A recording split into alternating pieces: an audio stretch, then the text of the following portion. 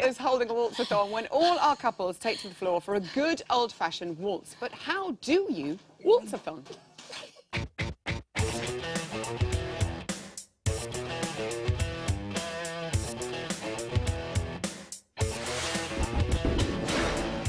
Oh, yeah, still celebrating your Oh, well victory. done. Come on, come on. I want a crump now. Uh, leading today's lesson in waltzathoning, uh, Alison and Ali Aljaž. No, hang on, sorry. Alison. cookies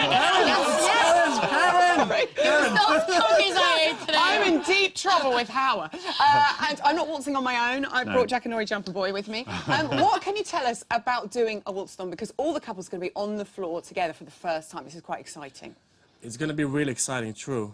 Plus, you know, all the technique that there is, footwork, maintaining a beautiful posture. Uh, there is that thing called spatial awareness, which is very Oh, yeah. difficult. I'm not good at that.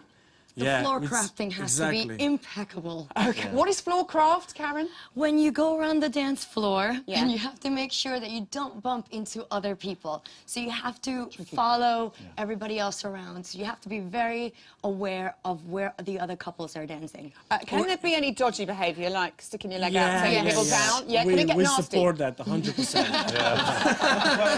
Well, what, about, when you block a couple? Can you do that? Yes, we can do that as well. Are, are you allowed to do it on Saturday? I'm interested. Uh, well, I'm not going to be doing it, but it, it's definitely going to be interesting to see people doing that waltzathon because, you know, it's sort of like a dance competition that we used to do when, you were, when we were kids. Okay. And you do bump into people all the time, so it's going to be great Oh, to see. Oh, it's going to be great. Can't Could you give us a demonstration if we have some music? Yes. So there you go. You're Yeah. on the floor. So you And, uh, nice posture. Nice posture. Lovely. Look, Ian, t- learning from the experts here. I've never done a waltz before, no. What do you think, Ian? What do you think? That's what do you reckon, Ian, as It's a judge? not bad for an amateur. Not bad It's at for all. Should we join in? Should we join in? So imagine then there are more couples on the floor.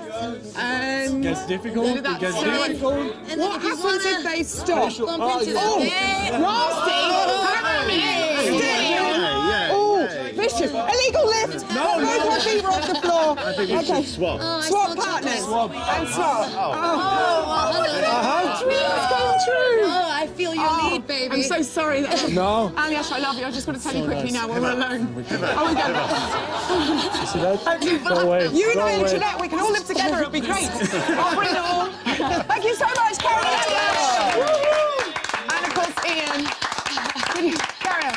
Uh, on tomorrow's show, just carry on the three of you. Oh, it's fine. Oh, it's Oh, fine. it's the three of on tomorrow's show, two more of our pros, Iveta and Joanne, are going to be here. If you have a look, isn't that beautiful? If you have a question for them, send it in using the hashtag AskITT. Now, my next couple proved on Saturday they don't need any lessons on how to waltz. It's Simon and Kristina. I love it.